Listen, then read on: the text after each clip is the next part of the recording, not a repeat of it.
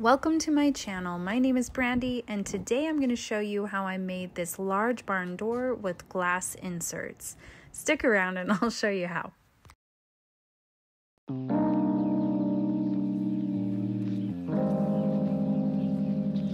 Okay, first things first. My customer really wanted this made out of hardwood, so I ran down to my local Macbeath's Lumber to see what they had um, available in our price range. I quickly found some really pretty ash lumber and I brought that home. If you've never been to a lumberyard before and you've been a little nervous about doing so, I made a quick five tips for the lumberyard video. You can check that in my list of videos or in the little link up above. Now, I actually don't have a truck, I still drive an SUV, so I had these guys cut this down to size for me so that I can fit it in my car and take it home.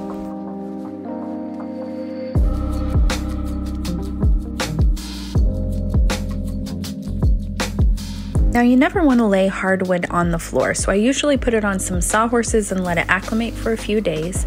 I needed to give myself a straight edge, and my joiner is not working right now. So instead, I pulled out my Kreg plunge saw, which is very similar to a track saw, and I ripped down one straight edge on each of the boards that I'll be using. Once you have that straight edge, you can actually use your table saw to cut down the other side. It will follow that straight edge and give you a nice clean cut. Now I will be including written instructions and plans to this entire tutorial that will be linked in the description below or on my website eternalharvestdecor.com and they're free plans you can get and just adjust the sizing to meet what you need for your door space. Now on a door, the two vertical pieces on either side of the door are called stiles. So I went ahead and made sure I had a nice straight edge and a piece long enough for the stile on both sides of the doors. Then I began to rip down pieces for the rails, and those are the pieces that go between the stiles and cross the door. They're the horizontal pieces that connect the door all together. So I now will have all the pieces I need for the two rails and the four stiles. Now, like I said before, this is a really big door, so this is going to be the stile and it is 87 inches long. So right now I'm just measuring my length for the two stiles and then I'll go ahead and cut those on my miter saw. Next is where a little bit of math comes in. You're going to have to measure how wide your stiles are. These are 6 inches wide, and I need the door overall to be 53 inches wide. So I'm going to need to deduct the 12 inches for each stile and see what I come up with left, and that is what I will cut my rails to. In this case, it ended up being about 41 inches.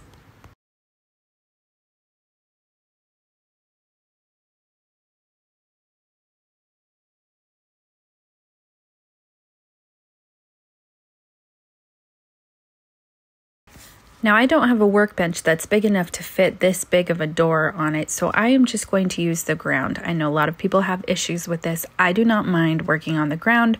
I would rather have the space in my workshop.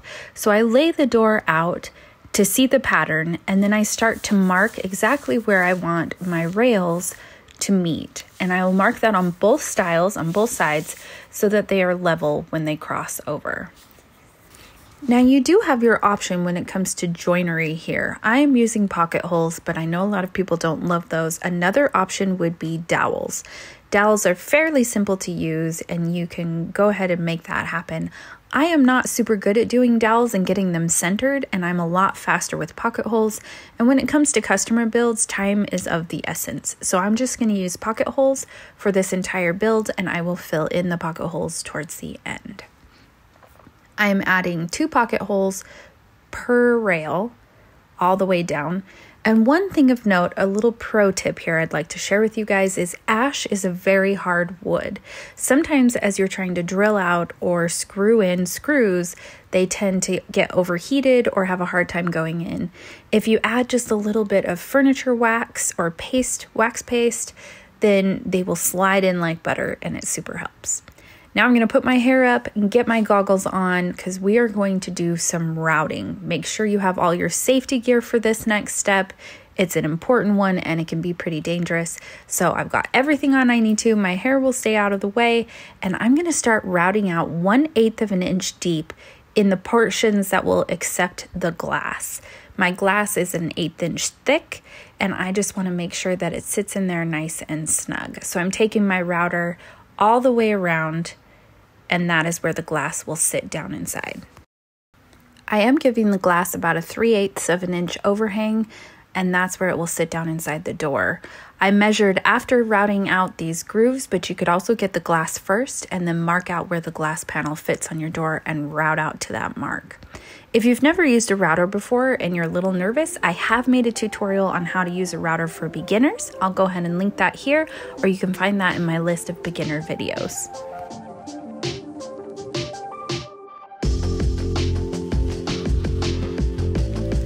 I actually picked up this corded router. It's a Ridgid router um, before doing this project because I didn't want to have to recharge a battery, and I was really, really impressed. So here I'm going to go ahead and try the glass panel in and make sure I made it deep, the grooves deep enough that it fits down inside nice and snug. I want it just flush with the frame. I'll then be adding some trim around to hold the back side of the glass in. That way if the glass ever breaks, it's pretty easy to go ahead and replace that and put the trim back into place. Okay, I forced myself to come outside. I'm going to finish sanding and possibly staining the door today. I do have these pocket holes that I need to fill and I've bought some of the paint grade wood filler. Um, they're basically just these little wooden dowels that fit perfectly inside these pocket holes. So they'll go real nicely like that and create a flush um, top so that it'll be nice and I don't have to use any wood filler and it'll stain the same as the door. So Next, I took these pine pocket hole plugs and went around with my Titebond Quick and Thick and put them into place. They were super simple to use, and I think they really gave it a nice finished look. They stained the same as the ash, and I was really pleased. You could use wood filler in these, however, I feel like wood filler just doesn't stain the same color as the piece that you're using. It's really hard to make them look professional. So these plugs really helped with that. Next, I took some 80 grit sandpaper to the door and then moved up to 120. I went ahead and tried the glass pieces in one last time to make sure I was where I needed to be. Then I need to remove the glass pieces and stain the entire piece. I'm not gonna lie, working with these long glass pieces was pretty stressful. Every time I tried these in, I had a mini heart attack. And when I actually secured them into place, I had another heart attack. But we'll get to that in just a minute. Okay, so here's how it all looks before stain. The glass pieces fit in just flush with the backside of the door. So Firm Grip sent me out these nitrile gloves and I really like them for staining. I believe they're available at Home Depot. I removed the glass pieces and it's on to staining. I'm using Ebony by Varathane and it's their premium wood stain. It tends to go on a little bit thicker. I really love the way it looks. It's got a nice smooth finish. Um, and with ash, there's a lot of grain, open grain. And so I'm giving the stain a few seconds to soak into that open grain before I wipe it off.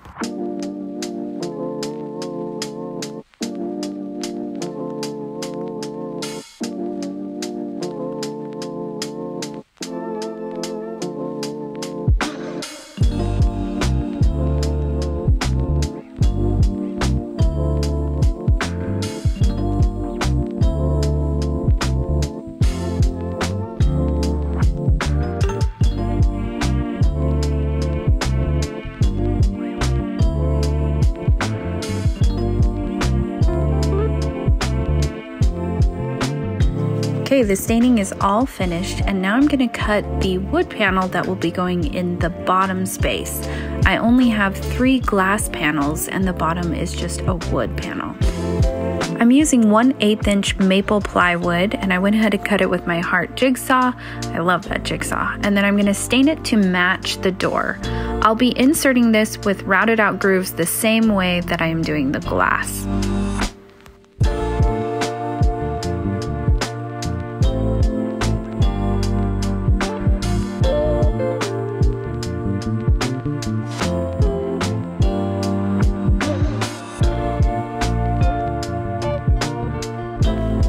Next, I picked up these decorative trim pieces from Home Depot, and I'm going to start cutting the 45s on these to fit around or frame out the glass.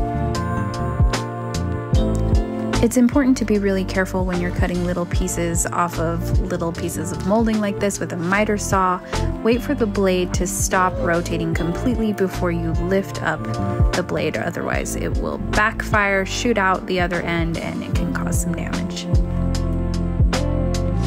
Next, instead of measuring each piece with a measuring tape, I actually just set them into place and mark them with a pencil. And then I go cut the 45s on the miter bench and bring them back out over and try it again. Next, I went ahead and stained all the trim to match the door with the Varathane got the both sides. You want both sides to be stained because when you flip the door over, you'll be able to see the back side of the trim just slightly through the glass. So make sure it's all stained completely. Next, I'm adding silicone in the grooves, and this clear silicone will help give the glass a little snug fit, but also give it a little bit of a buffer in case it's bumped or shaking. It helps with absorbing some of that shock. So I'm taking the glass out, and again, this is super stressful. Whenever working with glass, glass, I stress out. So I'm gonna go ahead and make sure there's no dust in the grooves and then take that tube of silicone and go all the way around the routed edges.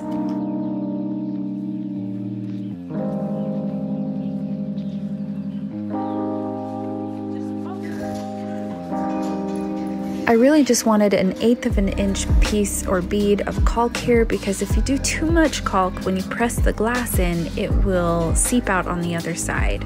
So just enough to give it some cushion and try to keep it all contained in this groove space. Next, I'm just gonna set the glass right down inside if I can gear myself up enough to make it happen. And then I will use my pin nailer to put the trim all the way around the outside of the glass and hold it into place.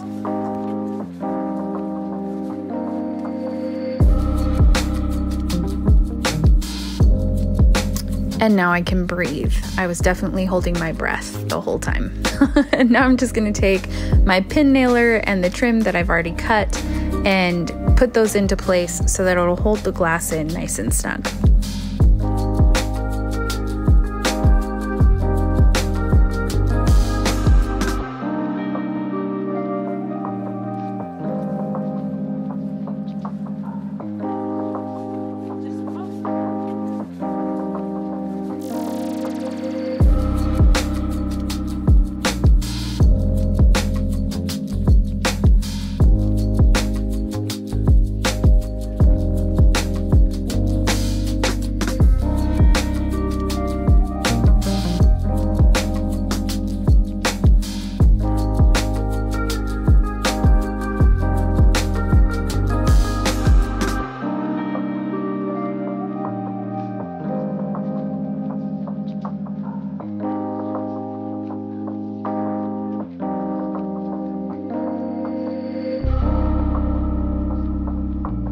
And that's it. That's how I built this door. I went ahead after all of this and touched up all of the staining pieces or any little places I might have missed while staining and wiped off the glass.